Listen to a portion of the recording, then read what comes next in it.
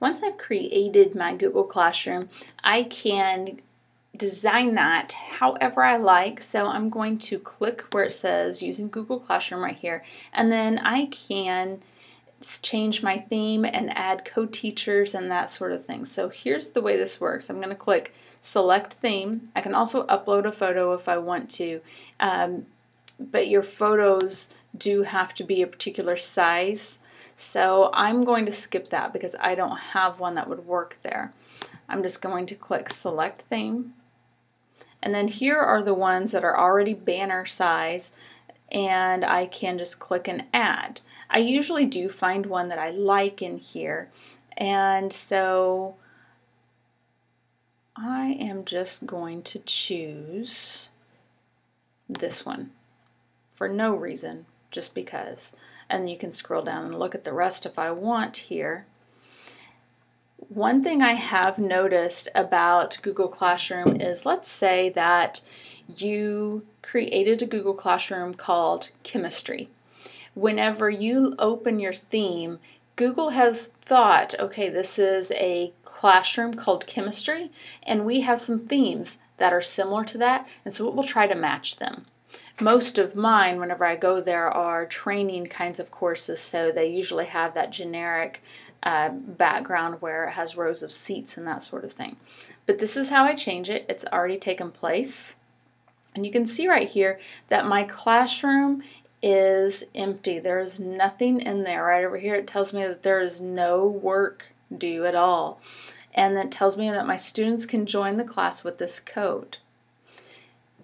If I go over here to About, let's say that I want to invite a co-teacher. So again, this co-teacher needs to be on the same domain as me. I cannot add a teacher from a that I know from another district or anything like that. And the way that I would do this is just click invite teacher and then I would type in the teacher's email address right here and then it's going to bring up a list where it says no contacts found. So let's say that I want to invite this teacher in. I'm going to search. If she is the one, I'm going to click there and then hit next and it will attach her as a co-teacher for me. Now you see right here where it says Google Drive folder, this is an automatic. Whenever I create a Google Classroom, it's automatically going to create a folder in my Google Drive that has the same name as this classroom. That is a management feature. So that exists now. And if I were to go into my drive, you would see that. This is my classroom folder, again, was automatically created. And here is my using Google Classroom folder. Right now, there's nothing in it because I haven't assigned anything. So I'm going to go back in here. One thing that I like to do is provide resources on this About page. So I'm going to type in resources and I'm just going to hit save. Okay, now whenever it says add materials, let's say that there are links that my students go to all the time. So for example, if I have a Symbaloo of links that I want my kids to go to, then I could add that here. If I use things like Kahoot or whatever it might be, I like to put those all right here. So I'm going to call this one links. And this is just my preference.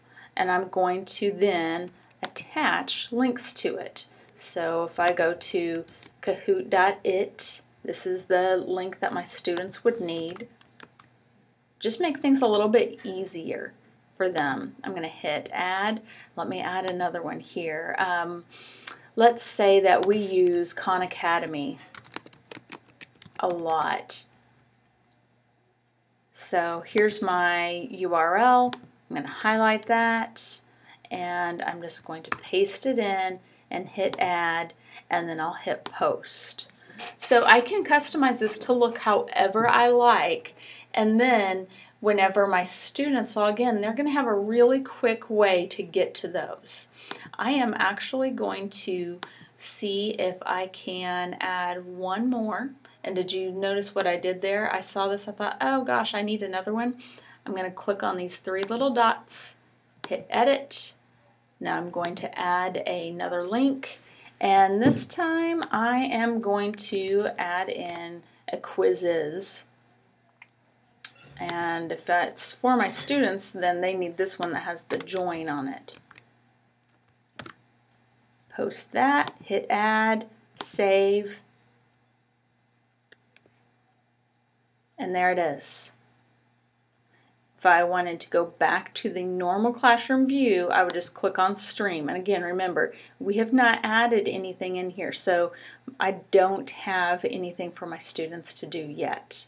But this is just the basic, customize this so it looks the way that you want it to, and then go to about to add in any links and to invite co-teachers. You can access your Google Drive folder by clicking right there. It's going to open up Drive for me. And then I can also view my calendar right there. So remember to do this so that it works for you and for your students. You want it to be as easy as possible for all of you.